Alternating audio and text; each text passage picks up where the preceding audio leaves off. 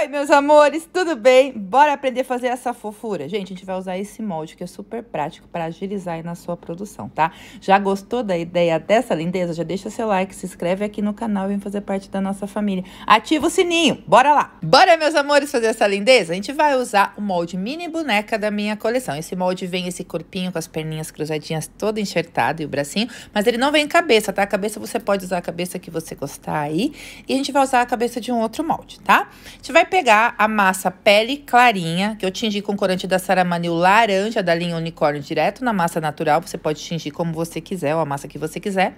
E vai colocar ali, ó, posicionar somente onde fica as perninhas. E com o auxílio do pincel modelador, você vai chegando a massa nos cantinhos, tá?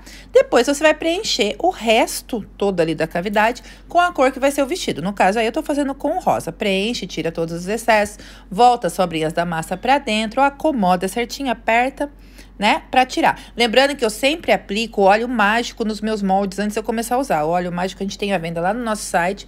Ele não agride os moldes, tá? A receita, ela é do meu ateliê e hoje em dia a gente fabrica para venda no site. Aí tira, ó, fica perfeitinho, gente, com as perninhas cruzadinhas, maravilhoso. Olha que coisa mais fofa. Pro rostinho, a gente vai usar o molde mini rostinho cut da minha coleção. Faz uma coxinha da massa pele clara que você tá usando, coloca a ponta da coxinha lá no narizinho, acomoda e tira. Esse molde é muito fofo, gente gente, ele já vem com o narizinho, boquinha muito bonitinho. Aí pega o pincel modelador, só dá uma marcadinha a mais ali no cantinho da boca, se você quiser. Ele já fica perfeitinho, tá? Aí vou pegar um boleador fazer as cavidades para colocar os olhos resinados. Os olhos resinados que eu estou usando nesse caso é o BC19, o M da cartela. Porém, toda essa cartela dá para você usar em aplique. Se você gosta de olhinho menor, maior, enfim, se joga, tá? Aí você vai escolher a cor que você quiser. Eu optei, neste caso, pelo azul. Aí vou posicionar ali, mas se você quiser, pode mudar todas as cores, tá? Posiciona com o auxílio de uma pinça dentro da cavidade e aí afunda com o pincel modelador. Gente, é muito importante fazer essa técnica, tanto do boleador ali de fazer a cavidade, quanto de acomodar e afundar, porque o biscuit encolhe depois que seca. E aí, se você não faz isso, ele vai saltar os olhos e vai ficar estranho, tá? Aí você pode colocar um, um pedacinho de arame galvanizado número 22 ali no pescocinho da bonequinha, depois que ela deu uma ressecadinha de algumas horas. E cola com colinha branca. Eu tô colando direto, tá? Mas passa um aramezinho galvanizado ali, número 22. Depois que ela deu uma ressecadinha, passa o arame, cola e deixa secar. Secou, ela já tá ressecada pelo menos 24 horas, a gente pode continuar. Aí você vai pegar a massa, a mesma massa pele, vai colocar na cavidade dos bracinhos. Acomoda, acomoda, aperta certinho, lembrando que eu aplico óleo mágico, tá? Isso facilita para tirar. E tira. Gente, já sai o braço cruzadinho, super fofo, super bonitinho. Lembrando que o meu corpinho e a minha cabeça já estão secos, tá? Estão totalmente secos. Deixei secar bem pra poder trabalhar. E já maquiei também, já pintei os cílios e fiz o blush, a boquinha. A gente tem vários vídeos que eu ensino a fazer isso aqui no canal, tá bom? É, então, já eu deixei preparadinho para facilitar. Aí eu acomodo os bracinhos ali, ó, em cima do joelhinho, como se ela estivesse abraçando. Como se ela estivesse, não, né? Ela tá abraçando as pernas, fica muito lindo. Deixa ressecar aí os bracinhos e aí nós vamos fazer a parte dos cabelinhos, tá? Eu já tenho uma sequinha, então daí eu vou usar o molde mini cabelos cacheados Apliquei óleo mágico nesse que é mais cacheadão, tá? Tem vários é, modelinhos nesse molde, é muito lindo e é bem fundo, então fica bem marcadinho. Posiciono essa massa, eu tingi com corante chocolate da linha da Saramanil direto na massa natural. Massas de biscuit que eu uso, gente, são massas Bia Cravol. Todos os produtos que eu uso no meu vídeo, vocês encontram no meu site, tá passando aqui embaixo pra vocês, tá? Aí é só tirar e já sai, olha, prontinho, já com a cavidade, tudinho pra você só acomodar a sua peça. Lembrando que a bonequinha já tá seca, então é super fácil de acomodar e não vai danificar. Importante que você deixe ela secar para você justamente poder fazer esse processo aqui com mais tranquilidade.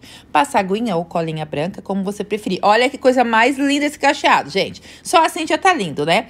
Mas aí eu vou colocar uma franjinha ali. Vou usar o molde mini franjinhas e, e chuquinhas da minha coleção.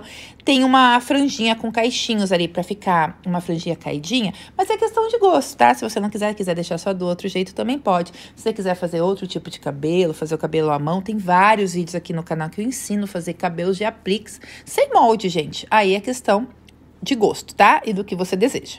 Aí é só colocar ali, ó, na parte da franjinha. Olha que coisa mais fofa que fica toda linda, né, gente? Aí eu arrumo, acomodo certinho. E aí você pode deixar assim, você pode colocar flores, você pode colocar laços, como você desejar, tá bom? Para fazer o lacinho, eu vou usar o molde Mini Lacinhos, código 133, da linha MD Moldes de silicone, que é esses moldes branquinhos que a gente vende lá no site. Aí você vai escolher um deles, tem vários fofinhos e tem alguns repetidos também, para dar produção. Aí você vai colocar a massinha ali da cor que você escolheu. Eu vou escolher o mesmo rosa que eu usei pro vestido. Gente, esse rosa do vestido eu tingi a massa de biscuit com o corante rosa chá da Saramanil líquido com um pouquinho de massa branca, tá? Aí tiro e colo no cabelinho com cola branca. Cola de ladinho. Você pode escolher a posição que você quiser. Você pode usar aqueles laços grandões, florzinhas, como você preferir. Fica super, super fofo. Vou pegar uma meia pérola pequenininha e vou colar ali no centro do lacinho para dar um charme, né?